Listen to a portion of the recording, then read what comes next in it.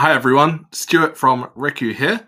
GPT-4 has come out and it's very exciting. It works the same as ChatGPT. So we've been enhancing our dashboard so that you can use ChatGPT, GPT-4 and any future releases seamlessly. With Riku, we're all about making it easy for you to play with the latest artificial intelligence with or without code so we've made it possible for you to quickly create prompts with GPT-4 or ChatGPT and then deploy these so you can share them with your colleagues, your friends, your contractors, whoever you need to use them or embed them where you want. So let's have a look at how all of this works within Riku for this MVP demonstration. And of course, we are going to be improving this and iterating on it in the future to make it better and better. Let's get into it. So if we come into our dashboard on Riku, we now have chat apps where we had chatbots before. If you click on the, this, you'll be able to see your chat app prompts. And you'll be able to see here, I've got some with GPT-4 and I've got some with the GPT 3.5 Turbo, which is pretty much ChatGPT we are going to be adding more templates for you to play with and you are going to be able to change anything that is here in the future. If you want to create a new one, simply click at the bottom and we have the ChatGPT Studio. This is where you can create brand new prompts for any of these chat models. And as more chat models come out, we're going to be adding more of these to uh, the offering within Riku. So we have them here. If I click in, you'll see we have our save and publish chat app pop up. Here you can change the name, you can change the description, you can add an image if you want to, or you can hit shuffle to choose between some images that we have sort of predefined.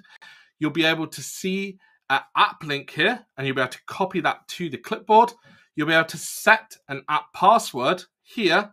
So, for example, I will set this as testing for this video. I can hit set password. My password has been updated. So I can share this with people. And then if I want to change the password after sharing it, I can do that. And I can share it with other people if the password leaks or if I want to just limit who can see it, then it's very easy to do that. And what we also have is we have the ability to create an embeddable HTML. So you can change the button color, you can change the icon color of the button, and you can change the width um, sizing and the height sizing. So you'll see here, we could have a height of like 400 and then the width would be 100. And if we come in to the iframe source, you will see that it's updated. So we got the 400 pixel height and width as 100%. You can change between pixels and percentages if you want to. One thing about obviously embedding is if you are embedding this somewhere, then anyone who has the link for that embed can use your chat GPT. And because we are running everything through your API keys to keep it as cheap as possible for you, if people get to it and they you know someone discovers it who shouldn't then that can be a problem. So the way that you can solve that is only turn this on with embedding when you want. If this is toggled as off then no one will be able to access it through an embeddable link. If it's turned on and if it's saved then you're good to go. But we'll keep that off for now. What i'll do is i'll just copy this link. We've got our app password as testing and I can hit save and publish app. So now I know that this is ready to use and I can get to the app by either clicking the play button like this or just entering it into a new browser. So you'll see here, because I am the creator, it's not going to ask me for any credentials or anything. I can just come in and I could say, who has won the most darts world championships and it's going to add that to our conversation and it says Phil Taylor. So I can just test the memory, just say, when is his birthday? Obviously, I haven't wrote anything about Phil Taylor, so it's going to know the birthday of Phil Taylor. and that is good. So we can have this conversation with the ChatGPT in our own dashboard. If we want to create something completely new, we can do that as well. Like I said, we hit ChatGPT Studio within the dashboard. Or if we're on one of these uh, share links, these chat apps, then we can come in and create one ourselves here. So here is what we had before, but we've made a few improvements to it. So what we can do is we can change the uh, the, the the welcome message. So let's do something fun. Let's be a pirate. So uh, ahoy there, me hearties. um, I'm here to help you with any questions. And then we can have walk the plank. We can choose between our models. And one thing that is important at the moment is the GPT-4 is only going to work if you are accepted into the beta. I know that quite a few people got the invites last night. So if you have got one of those invites, then GPT-4 will work for you. If you haven't got one of those just yet, you can use the GPT 3.5 Turbo. Um, and most of the GPT-4 invites that I've seen are for the 8,000 token model. So make sure that you are selecting the right one because selecting the wrong one and then saving a prompt will just get you errors. Um, because if you haven't got access, then it's not going to magically work for you. So now we're going to create a piratey prompt. So um, you are a pirate like Jack Sparrow. You talk in a funny accent and give humorous advice to questions about being at sea for a long time.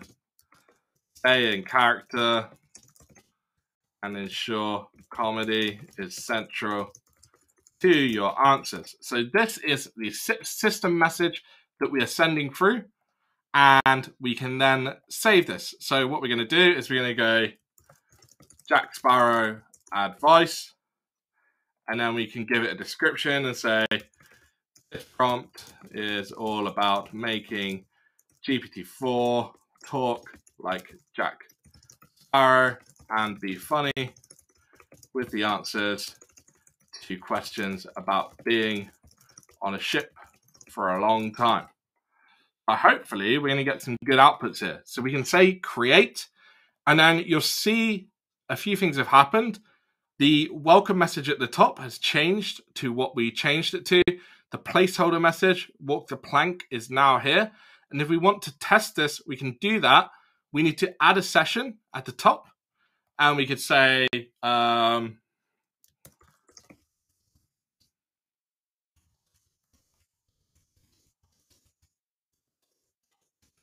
what do I need if I'm going to be on a pirate ship for a long time?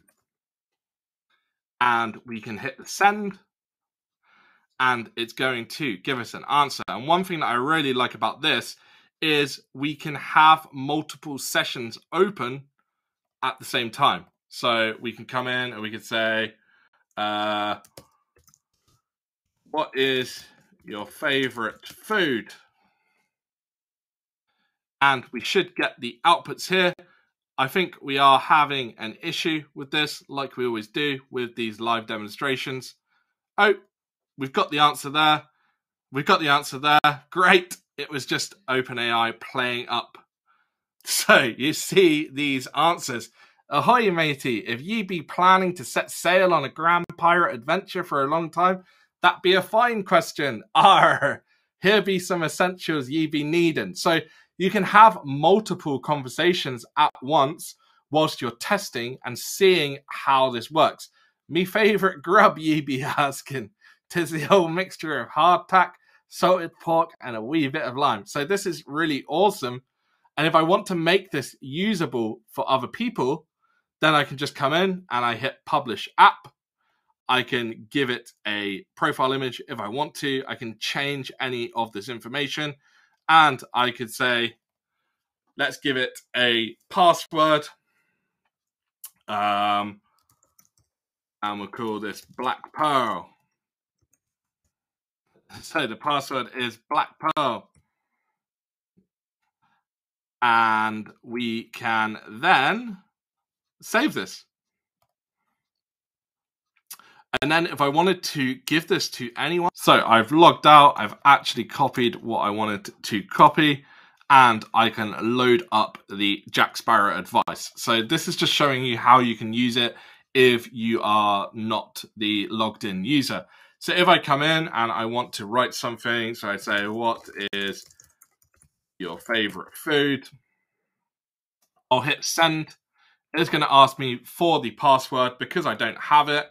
Let me just put Black Pearl. And you'll see it's incorrect because I didn't have the capitals for it. So if I put Black Pearl in again, it's now unlocked and I can send my message and it's going to reply to me when it does. I've noticed that GPT-4 is slightly slower than the GPT 3.5 Turbo. I expect this to uh, get better in the future. But you see here, we can have a conversation. Uh, and it can be quite fun. So we could say, you know, monkey tail, that sounds gross. but uh, yeah, so this is where we are at the moment with what we are doing with uh, the chat dashboard. So we have a way for you to create your chat prompts with 3.5 and with 4. When more models become available, we will be adding them. And we are also creating a way for you to embed them, which you can use now. Um, and we will have a way so you can toggle your own sessions here. So you can have sessions which will be uh, they'll be ready for the user based on their uh, loaded page. So obviously we want to reduce the friction as much as possible for anyone to use this with a password. We don't want them to have to be able to, we don't want them to be making an account and going through the process with all of that friction. We want it to be simple, we want it to be quick, and we want it to be fast. So all of this is about that. So we will have sessions which are unique for the to the page, and when the page is refreshed, the sessions will be wiped. Um, but I think this offers a lot of potential for you to share your GPT-4 or GPT 3.5 chat GPT prompts with other people for them to use. And we have white label also in the works. So this is a first version of what we have. Um, please enjoy it. Please uh, give us any feedback. We'd love to hear it. Cool. So that's everything for today. I hope you've enjoyed this brief demonstration of our MVP version of these share links, chat apps, whatever you want to call them. I hope you find them useful and you can share them with your team, with your organization, with contractors, friends, whatever. We plan to have a really nice dashboard with the best uh, chat GPT sort of little apps that people can play with, enjoy. Um, it's going to be like the community showcase. It's going to be growing. It's going to be big. It's going to be fun. And we think it's going to be really exciting when we start to chain this technology together with other things within AI. So feeding these chat prompts into image, feeding summaries into these uh, chat prompts, and so on and so on. We've got a lot coming, and it's quite hard to keep up with the latest stuff in AI sometimes, but we try our best to keep on top of it all. And we are determined to keep Riku ahead of the game and to be the central place for you to build with all of the best large language models, really agnostic to the technology, um, the companies that are running it, and to make it simple for you to do that with code or without code. So if that sounds interesting for you and you haven't considered signing up for Riku, try it out today at riku.ai. We'd love to have you on board. Thank you.